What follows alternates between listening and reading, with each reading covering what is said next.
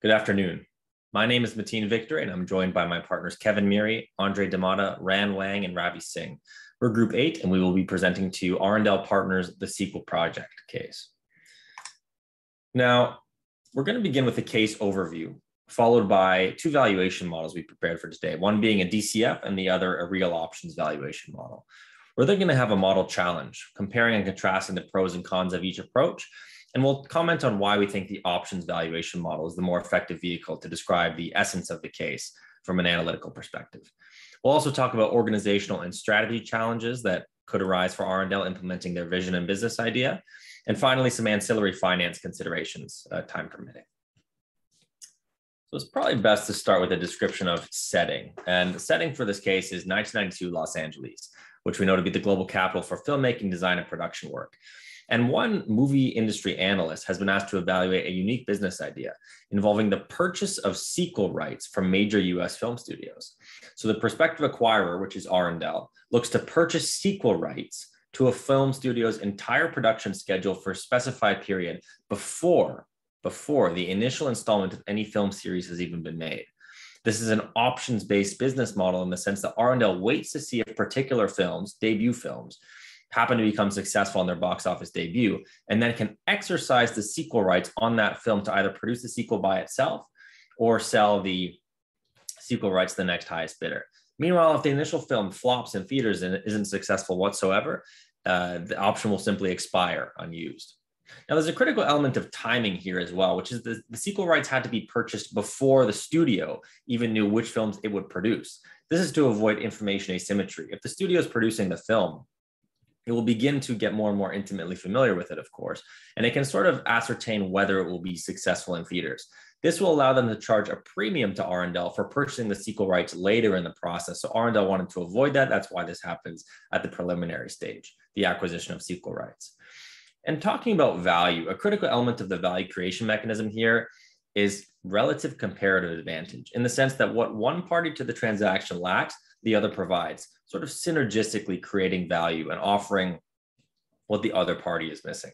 Because movie making is an expensive and fundamentally risky business. It's very difficult to predict the likelihood of a success uh, rate for any given film, given the changing taste of audiences and all sorts of extraneous factors. And studios themselves are not flush with cash whatsoever. It's it's a risky business. They, they require heavy financing. And um, those financing constraints often place limits on the creative potential of firms due to monetary or other considerations. Meanwhile, oppositely, Arundel has a lot of cash on hand and they have significant investment capabilities. So by buying studios' production rights, Arundel offers much needed cash and financial security for the studios, reducing their borrowing needs and allowing for greater creative potential. Now, in exchange, Arundel receives and benefits from the expertise of the US's leading film studios, which have the creative vision, people, resources, and expertise to create blockbuster films. I'm going to hand it over to Kevin now to talk about the analytical models we prepared for today. Thanks, Mateen. So starting off with our traditional NPV or DCF valuation, we wanted to outline our basic inputs first. So starting off with expected cash flows, we wanted to incorporate the unsystematic risk of the actual project into this metric. And in order to do so, we had to find a probability metric for the uh, probability of success of a sequel that we had to multiply the cash flows by. Basically, what we were trying to do here was divide out unsystematic and systematic risk into our cash flows and discount rates, respectively. Now, as we will see later on, we use two models to calculate the probability metric. This is primarily because um, we, we conducted a lot of sensitivity analysis and realized that the expected cash flow was an input that the NPV was very sensitive to and is par- and was, was therefore paramount to maximizing um, shareholder value in this case. So moving on to our project timeline, uh, we used a project timeline of four years. Uh, this is because the median sequel release time was three years after the first film's release, meaning sequel production had to be at time uh, t equals three for release to be t equals four. Now, with this uh, with this information in mind and the project's horizon in mind, we use a U.S. five-year Treasury rate as our risk-free rate to actually match the horizon of the project. Uh, for our market risk premium for the discount rate, we then used 40 years worth of S&P 500 historical returns and subtracted that from uh, the US Treasury rate returns for 40 years as well, giving us a market risk premium of 5.92%. And then our beta was just drawn from Damodaran's US sector data, primarily from the entertainment industry, because we believe that the entertainment industry um, encapsulate a lot of the systematic risks that come with the film industry. So with our basic inputs in mind, um, we're going to turn to our actual two models. So the first model assumes that we're going to use the first film's success to predict the success of the second film. So in this case, we assumed a 20% IRR hurdle for the second film. We ran a regression between the IRR of the first film and the IRR of the second film, realized that they were very statistically significant with a coefficient of 0.5. So if we assume an IRR hurdle rate of 20% for the second film, that means the first film would have to hit an IRR of 40%. And that was basically our filter that we used. We realized that 37 of the 99 movies had first films that had IRRs over 40%. And that gave us a probability of success for the sequel of 37.37%. Now, our average cash flows were just the averages of those 37 films, giving us our expected cash flow. Uh, we discounted these values and we assumed that to purchase the sequel rights was 2.5 million per film, providing us with an NPV of 1.90 million. Now, Model 2 was very similar methodology, except for that when it came to the probability metric, we instead assumed that the probability of success of the sequel would be based on the hypothetical values of the sequel itself. So basically, we looked for sequels that had hypothetical net cash inflows that were positive. Uh, to make sure that the comparison was equivalent, we first discounted our cash out, uh, our cash inflows to t equals three, so that the cash outflow and the cash inflow were being compared at the similar time because the cash outflow was a year before the cash inflow. Now, you doing that, we found that only 26 firms had positive uh, net cash inflows um, out of the 99, providing us with a probability of 26.26%. And then the rest of the methodology was the exact same. So to, uh, to, to further our understanding of the NPV, we then conducted a Monte Carlo simulation on both models. So model one, we sensitized, we actually sensitized the same three inputs for both models. And we realized that average cash flow was the one input that both models were most sensitive to by far uh, when it comes to uh, probability and cost of capital wasn't even close. So we sensitized average cash flow, uh, probability of successful sequel, and our discount rate. Uh, for the average cash flow, we used a normal distribution. Uh, we had a standard deviation. We wanted a, a, a nice bell curve um, to get a nice range of different uh, simulated outcomes. A PERT distribution was used for the probability because we wanted an upper and a lower bound. And a triangular distribution was used for the discount rate because we weren't sure what type of distribution a discount rate would take on, but we did have an idea of a maximum, which is typically where you would use a triangular distribution. So based on model one, we can see that the NPV ranges quite a bit. It, it ranges from negative 8 million to 13.9 million per film. And this is all um, a testament to the fact that it, the DCF does not account for the sheer volatility in the average cash flows, which is why we have such a broad range. Uh, when we look to model two, the same, the same case is here. Uh, again, average cash flow is by far the most uh, sensitive uh, thing that the output is sensitive to in terms of inputs. And so when we look to this big flaw of DCF um, through the fact that it doesn't take into consider the volatility of the expected cash flows, this is when options valuations becomes a, um, a, a a key area of uh, interest, which is something that I will pass on to Ran to speak about to you all.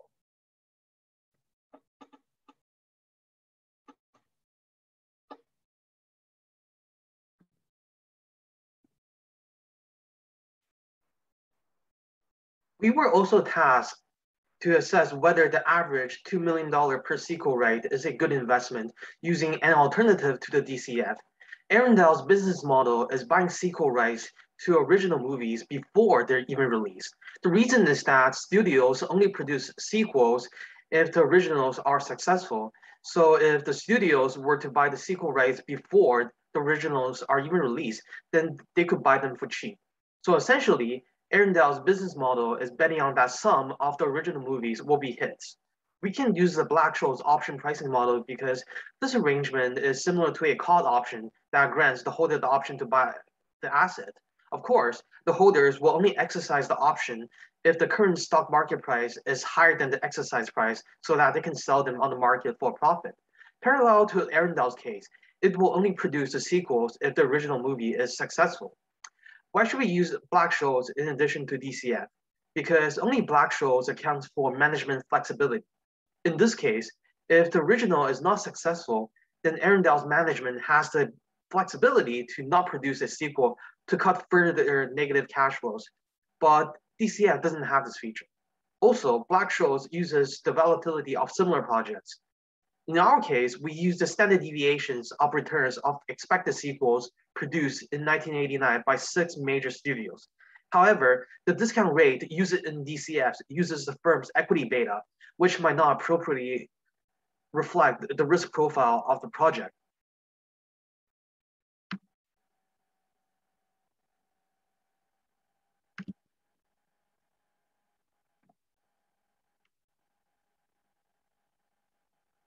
Now, let's take a look at how to use the Black-Scholes model. It has five inputs. The first is the stock price. Sequel rate is not an equity stock, so we use the average expected cash inflows of the sequels produced. The second is the exercise or the strike price. Arundel would not exercise its option unless the hypothetical cash flows of the sequel exceeded its expected cost. So we use this figure. The third is the time to maturity. We use the one year for this because we'll know whether the original movie is successful or not after only four or five weeks. The fourth is the annual risk-free rate, which is just the 8.26 treasury rate that we used in our DCF earlier for consistency. The last is the annual volatility. We use the standard deviation of returns of expected sequels produced in 1989 by six major studios, given in the case. After we determine the inputs, we use the Black-Scholes formula to calculate the option value. We also use a Monte Carlo simulation to consider the ranges of the five inputs. The median result of running the simulation is 9.92 million, which is greater than the 2 million average sequel right price. So it's a good investment. Great. And now I'll be presenting our answers to question four and question five. Question four asks us to determine whether the real option valuation or the DCF option of the DCF valuation were superior to one another. And ultimately, we thought that uh, Arundel should use both as they complement one another in terms of the getting to the true value of the business opportunity that Arundel has. And in coming to this conclusion, uh, we went through the pros and cons of the DCF valuation as compared to the real options valuation, and only uh, included those that we thought were most important considerations and ranked uh, them in, in order of importance. So for the DCF, we thought the major upside to our model was the fact that it could account for the assumptions of the business opportunity that Arundel specifically had. And that what we mean by that is the fact that Arundel would not exercise the option to create a sequel if um, there was a negative NPV associated with any sequel. And so we accounted for that by multiplying the probability of a successful sequel being created by the cash flows we expected from the sequels. And also, we thought as a communication tool, it was more favorable than the real options. Um, however, a downfall of the DCF valuation was that it didn't really account for the appropriate risk of the opportunity that um, Arundel had. And we assume we say that because we use CAPM to discount, and CAPM assumes that the investor holds a diversified portfolio of assets. And here it's unlikely that they would hold a diversified portfolio of, of movies, uh, given that they only invest in one or, or fewer uh, studios rather than the market as a whole.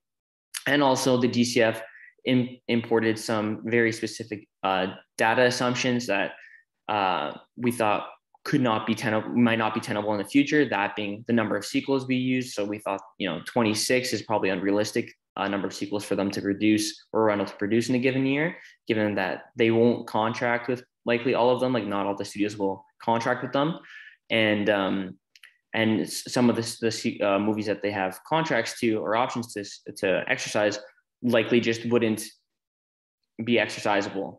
Uh, given that they either are negative going to be negative NPV or they're just not sequelizable. It made they can be made into sequels. Uh, on the real option side, we thought the biggest plus was the fact that it accounts for volatility. As we've demonstrated or we discussed, sorry, uh, there's a lot of volatility that goes into uh, their expected returns of these specific sequels. And so that's something that DCF didn't catch and that the real option valuation did catch, we thought was very important. And also fundamentally, we thought the real options in terms of on the ground floor and the three different phases that Arundel will be going through, it'll be a lot easier to implement those specific suggestions um, on the ground floor. And so for those reasons, uh, we thought that the real options valuation was superior to the DCF, but that both should be used in, in coming to the fair valuation of Arundel. And so for question five, were asked to look at the organizational and the strategic challenges or business challenges that um, would confront or, or would have to confront to make this uh, a successful operation for them or investment. And the on the organizational challenges we have there, again, ranked in order of what we thought were most important is negotiating the contractual terms with the studios they contract with, finding studios that are even willing to produce the sequels, and trying to actually go out and convince market leading studios to contract with them. And we thought thought these were like the most important and ranked in priority, uh, given that depending on what the contractual terms are with the studio, it, this could be successful or not successful. If the studio who's producing the original contract or the original movie isn't willing to produce the sequels, then the quality of the sequel might not be there, um, as well as them having known the, you know, or being most intimately aware of the different um, plots and themes of specific movies. Not having the original studio would be detrimental to uh, Arundel's investment opportunity. And then on the strategic and business challenges that Arundel faces, we thought of them the most important would be the option pricing and coming to you know a, a good negotiation strategy for us is we know that they're willing to pay around 2 million or sell their option their rights for 2 million but we know that the fair value of that is more so it's trying to figure out you know how can we negotiate to have that uh, option pricing more favorable for us or for Arundel um, the ability to purchase sequel rights of all movies because we know that if the studio is able to retain the sequel rights for some movies, they'd likely pick the movies that will be the most likely to be made into sequels. And so we'd be, our option would be significantly less valuable. And we also think the business strength and durability of a studio is very important because if they're going to go under and they can't even produce a given movie to for that we could have a right to create the sequel from, then it would be uh, there'd be no value for us to capture. And so, given these different challenges, we thought the two most important recommendations we can make for Arundel to increase their expected value of this investment is to include in the auction contracts an incentive to motivate studios to produce, produce movies that will lead to sequels. And that could be either revenue ties to the potential sequel that won't be too detrimental to our future expected value, but that will motivate them to produce more movies that could be sequelizable. And our second recommendation would be to contract with studios that have no apparent business or operational issues, because the last thing we'd want to do is to um, in contract with a company that's going to go under, that laborers are going to go on strike, or any other issues that would prevent us from getting any value from these rights. And now I'll pass it over to uh, Kevin. So to end up, we just wanted to point out some ancillary finance considerations that might add accuracy to our valuation models. Uh, the first one is to actually find the expected value of the selling of selling the sequel rights. There wasn't much information in the case, so we had to assume that it was zero for our model. But obviously, as was stated, Arundel does have the opportunity to sell it. So instead of uh, a, an NPV of zero for that scenario, it might be an actual positive NPV. Uh, two, we believe that the sample of the films provided was inappropriate in a sense because it was rather arbitrary. It's, it, it was akin to um, trying to value a firm in an industry by picking a random number of firms from that industry instead of looking at the characteristics of the actual comps. And then finally, kind of um, to that second point, using a studio specific valuation might be in the favor of Arundel unless they are looking to invest in enough studios where they're diversifying out the unsystematic risk associated with the studio, which didn't seem to be the case. Um, but given more information about what type of studios they wanted to invest in, the valuation would be able to be more accurate and more uh, akin to the characteristics of the films they're actually looking for. So thank you so much for your time, and we hope you uh, learned something.